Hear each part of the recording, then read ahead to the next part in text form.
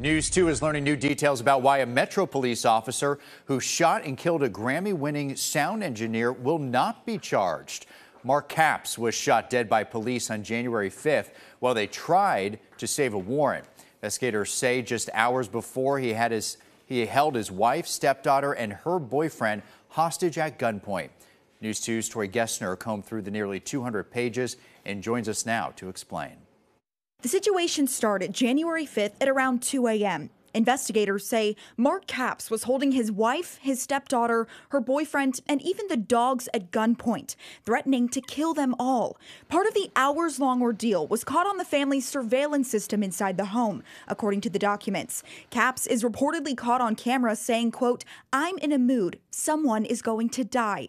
Investigators say they heard Capps threaten his wife that if she pushed the emergency button on the alarm system, quote, you'll be dead before they get here. His stepdaughter pleaded for Capps to put the gun down, but the documents say he was unaffected.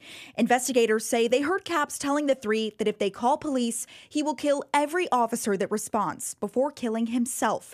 Capps eventually passed out. His stepdaughter's boyfriend left for work, and his wife and daughter escaped with the dogs to the Hermitage Police Precinct. Hours later, officers tried to serve a warrant for Capps' arrest when they say Capps came to the door with a gun. Now, it's hard to see in that body camera video, but officers told investigators Capps was holding the gun at waist level, pointing the barrel directly at them with his finger on the trigger. You can hear the officers in that video yelling at Capps to show them his hands. They say his position never changed, and because they were in fear for their lives, they had to shoot. Mark.